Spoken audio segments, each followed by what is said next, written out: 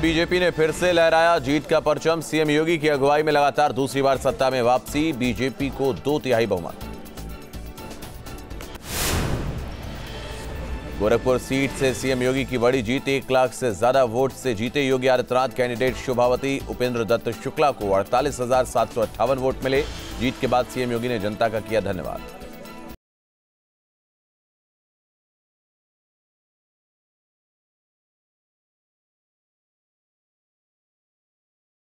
पहली बार बीजेपी ने नौ सीटों पर फतेह हासिल की। गोरखपुर ग्रामीण सीट से बीजेपी प्रत्याशी विपिन सिंह ने जीता चुनाव।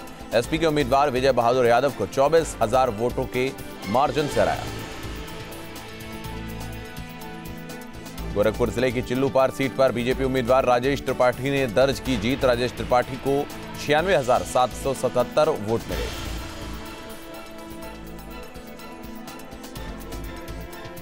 उत्तर प्रदेश विधानसभा चुनाव में बीजेपी की सहयोगी निषाद पार्टी को छह सीटों पर मिली जीत। निषाद पार्टी ने 16 सीटों पर उतारे थे अपने प्रत्याशी संजय निषाद के बेटे। सरवन निषाद ने चौरी चौरा सीट से दर्ज की जीत।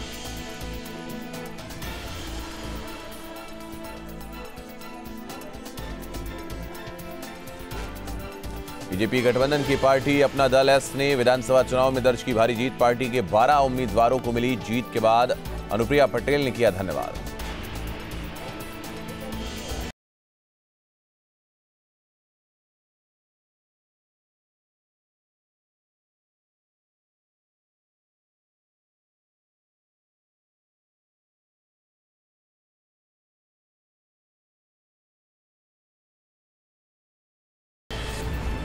फतेहपुर ज़िले की महत्वपूर्ण सीट बिंदकी विधानसभा पर बीजेपी गठबंधन ने किया कब्जा। अपना दल के प्रत्याशी और मंत्री जय कुमार सिंह ने हासिल की जीत।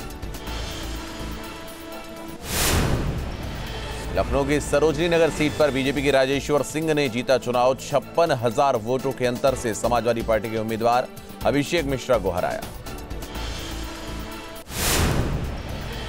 लखनऊ पूर्व सीट पर बीजेपी के आशुतोष टंडन ने जीत की दर्ज एसपी प्रत्याशी अनुराग भदौरिया को अड़सठ हज़ार से अधिक वोटों के बड़े अंतर से हराया इस सीट पर बीएसपी के आशीष सिन्हा और कांग्रेस के मनोज तिवारी को मिली करारी हार। योगी सरकार में मंत्री रहे नेता ब्रजेश पाठक ने लखनऊ कैंट सीट से जीता चुनाव। एसपी के सुरेंद्र सिंह गांधी को दी शिकस्त। ब्रजेश पाठक ने उनतालीस हज़ार से अधिक वोटों से हासिल की जीत। गाजियाबाद सदर सीट से बीजेपी प्रत्याशी अतुल गर्ग ने दर्ज की शानदार जीत। अतुल गर्ग ने समाजवादी पार्टी के विशाल वर्मा को एक लाख से अधिक वोटों से हराया। नोएडा से बीजेपी के पंकज सिंह की रिकॉर्ड जीत, एक लाख उन्यासी हज़ार वोट से जीते पंकज सिंह। कांग्रेस की पंखुड़ी पाठक और समाजवादी आरएलडी के उम्मीदवार सुनील चौधरी को दी कड़ी शिकस्त। एसपी के सुनील चौधरी को सीट पर मिले अट्ठावन वोट।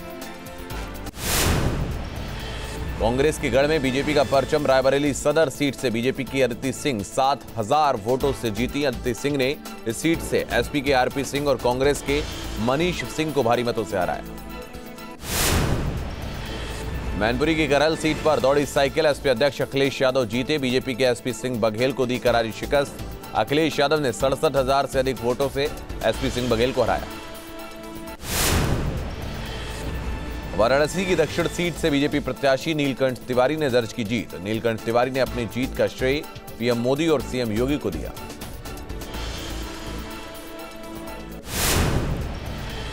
वाराणसी की पिंडरा सीट पर बीजेपी का कब्जा, बीजेपी प्रत्याशी अवधेश सिंह ने दर्ज की जीत। बोले, अधूरे कामों को पाँच साल में पूरा करने की करेंगे कोशिश। वाराणसी की सबसे बड़ी सीट कैंट में भी भारतीय जनता पार्टी के सौरभ श्रीवास्तव ने हासिल की जीत। पाँच साल में तमाम वादों को पूरा करने का दिया भरोसा।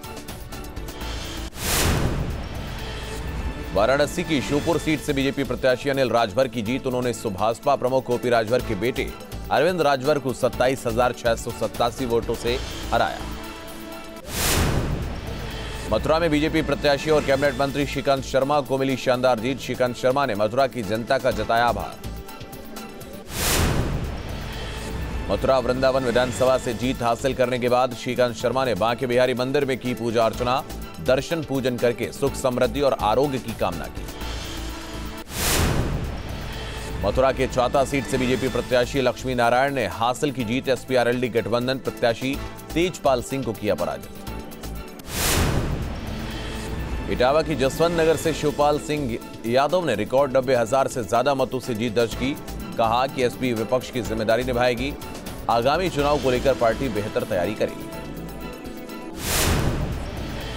रामपुर में आज़म खान के गढ़ को नहीं भेद पाई बीजेपी। स्वार सीट से आज़म के बेटे अब्दुल्ला आज़म की जीत। अब्दुल्ला आज़म ने काजिम के बेटे हमजा को दी मात।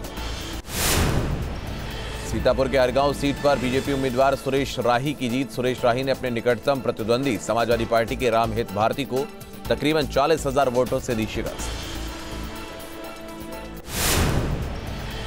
आगरा की सभी सीटों पर इस बार खिला कमल। आगरा छावनी से बीजेपी प्रत्याशी डॉक्टर जीएस धर्मेश ने दर्ज की जीत। आगरा ग्रामीण से बीजेपी प्रत्याशी बेबी रानी मौर्य ने दर्ज की शानदार जीत। एक लाख छह हज़ार वोटों से दर्ज की है जीत। देवरिया सदर सीट से बीजेपी प्रत्याशी शलभ त्रिपाठी ने एक लाख छह हज़ार से ज़्यादा वोटों से दर्ज की है जीत। जीत के बाद पार्टी कार्यकर्ताओं ने मनाई खुशी। देवरिया की पथरदेवा सीट पर बीजेपी के दिग्गज नेता और मंत्री सूर्य प्रताप शाही ने दर्ज की अपनी जीत। उन्होंने अपने निकटतम प्रतिद्वंदी, एसपी के ब्रह्मशंकर त्रिपाठी को अट्ठाईस हज़ार से अधिक वोट से हराया प्रयागराज पश्चिम से सिद्धार्थनाथ सिंह ने दर्ज की जीत। सिद्धार्थनाथ सिंह ने जीत का श्रेय पीएम मोदी और सीएम योगी को दिया। प्रयागराज शहर दक्षिण विधानसभा सीट से कैबिनेट मंत्री नंदगोपाल गुप्ता। नंदी ने जारी रखी अपनी जीत, एसपी प्रत्याशी रईस चंद्र शुक्ला को छब्बीस हज़ार चार सौ सत्रह मतों से दी शिकस्त। बीजेपी छोड़कर साइकिल पर सवार हुए धर्म सिंह सैनी को सहारनपुर की नकुड़ सीट से मिली भारी हार। मुस्लिम बाहुल्य सीट पर बीजेपी प्रत्याशी मुकेश चौधरी ने धर्म सिंह सैनी को 315 वोटों से हराया। मऊ ज़िले की चार सीटों में से तीन पर समाजवादी पार्टी का कब्जा, घोसी विधानसभा पर एसपी उम्मीदवार दारा सिंह चौहान ने दर्ज की जीत। बीजेपी से एसपी में शामिल हुए थे दारा सिंह। दारा सिंह चौहान ने बीजेपी के वर्तमान विधायक विजय राजभर के खिलाफ बाईस हज़ार से अधिक वोटों से जीत हासिल की। बागेश्वर ज़िले की दोनों सीट पर बीजेपी की जीत, बागेश्वर सैतालीस सीट में बीजेपी विधायक चंदन रामदास ने दर्ज की जीत। कांग्रेस पार्टी के रंजीत दास को बारह मतों से हराया। कपकोट सीट में बीजेपी के सुरेश गढ़िया को मिली विजय। कानपुर की महाराजपुर सीट से बीजेपी के वरिष्ठ नेता सतीश महाना ने दर्ज की बड़ी जीत। एसपी के फतेह बहादुर गिल को बयासी हज़ार से अधिक वोटों से हराया। लगातार आठवीं बार जीत का पहना ताज। गाजीपुर ज़िले की जहूराबाद सीट से सुभाषपा अध्यक्ष ओम प्रकाश राजभर ने दर्ज की जीत। भाजपा के काली चरण राजभर को हराया।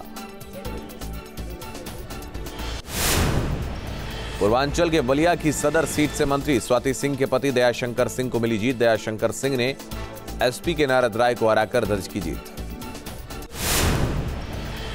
सिद्धार्थनगर ज़िले के इटवा विधानसभा सीट से बेसिक शिक्षा मंत्री सतीश द्विवेदी को मिली हार। एसपी प्रत्याशी माता प्रसाद पांडे ने 1526 वोटों से हराया।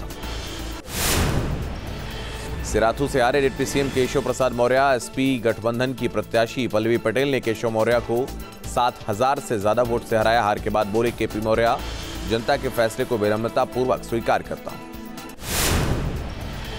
फाजिलनगर से स्वामी प्रसाद मौर्य की करारी हार, बीजेपी के सुरेंद्र कुशवाहा ने पैंतालीस हज़ार से ज़्यादा वोट से दी मात। चुनाव से ठीक पहले मंत्री पद से इस्तीफा देकर स्वामी प्रसाद मौर्य ने छोड़ी थी बीजेपी। ट्वीट कर बोले, जनादेश का करता हूँ सम्मान। फाजिलनगर सीट से स्वामी प्रसाद मौर्य हार गए। उन्होंने कहा, वो चुनाव हारे हैं, हिम्मत नहीं।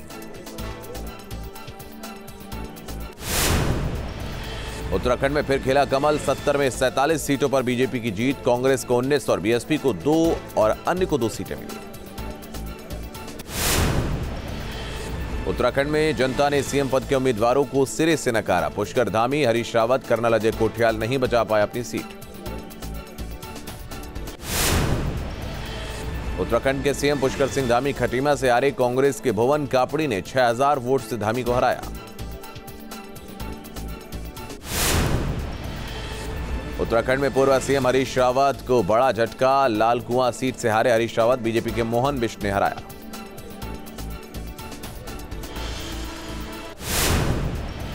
नेता प्रतिपक्ष प्रीतम सिंह ने जीत के बाद जनता का जताया आभार, कहा विपक्ष में रहकर जनता की आवाज़ उठाने का काम करे।